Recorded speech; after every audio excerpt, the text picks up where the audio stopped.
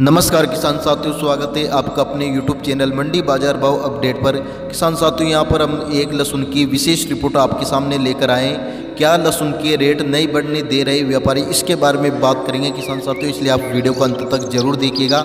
सबसे पहले हम बात करते हैं किसान साथियों, मध्य प्रदेश के मदसौर के उज्जैन नीमच, इन जिलों में 2021 में हमें यानी कि लहसुन की बहुत अच्छी पैदावार देखने को मिली थी, बम्पर पैदावार देखने को मिली थी किसान साथियों। हालाँकि अच्छी उपज होने के बाद, अच्छी पैदावार पैदावार होने के बाद भी किसानों की परेशानियाँ हल नहीं हुई है और मंडियों में लहसुन का रेट, लागत मूल्य से भी किसान भाइयों को काफ़ी कम मिल रहा है। मदसौर कृषि उपज मंडी में पड़ोसी राज्य यानी कि झालावाड़, बारह इन जिलों के किसान भी लहसुन बेचने जाते हैं, यानी कि राजस्थान के जो ज़िले हैं, झालावाड़, बारह इन जिलों के किसान भी यानी कि मदसौर मंडी में लहसुन लेकर आते हैं।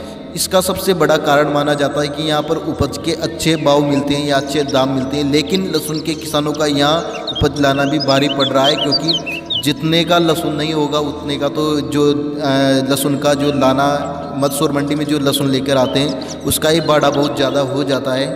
वहीं बात करें तो व्यापारी लहसुन के भाव बढ़ने नहीं दे रहे हैं और किसानों को लागत मिलने से भी कम दाम मिल रहा है। किसान साथियों, वहीं बात करें हम व्यापारी लोगों की तो अगर आगे से डिमांड बढ़ेगी, तभी तो व्यापारी लोग उसको उच्च स्तर पर खरीदेंगे, अच्छे दाम में खरीदेंगे, क्योंकि खुद एक व्यापारी या व्यापारी खुद अपनी जेब से तो पैसा देगा नहीं, क्योंकि आगे से डिमांड नहीं बन रही है। और जो पुराना लहसुन है, किसान साथियों, अभी भी बहुत से किसान साथियों के पास पुराना लहसुन मौजूद है।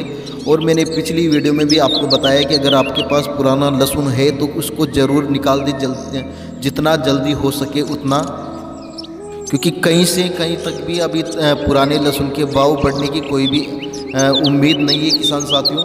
और आगे से अभी नए लहसुन में भी काश हमें तेज़ी नहीं देखने को मिल रही है, क्योंकि नया लहसुन भी कुछ कुछ मंडियों में आने लग गया है। अभी फ़िलहाल लहसुन का ऐसा माहौल बन रहा है कि किसान लहसुन को कुछ मंडियों में खबर भी निकल के आ रही है कि कुछ किसान साथियों ने यानी कि लहसुन में आग लगा दिया कुछ ने यानी कि रोड पे ही पूरी ट्रॉली खाली कर दी। ऐसी कंडीशन भी हमें देखने को मिल रही है। अभी फ़िलहाल लहसुन के भाव पर एक नज़र डाले किसान साथियों तो हमें जो लहसुन का भाव अभी देखने को मिल रहा है, वो पाँच सौ रुपये से लेकर तीन हज़ार रुपये प्रति क्विंटल के बीच में ही देखने को मिल रहा है किसान साथियों ज़्यादातर। किसान साथियों, ये थी आज की जानकारी। अगर आपको ये जानकारी पसंद आए तो चैनल को सब्सक्राइब करें, वीडियो को लाइक करें। मिलते हैं फिर नेक्स्ट वीडियो में। जय जवान, जय किसान, जय हिंद, वंदे मातरम।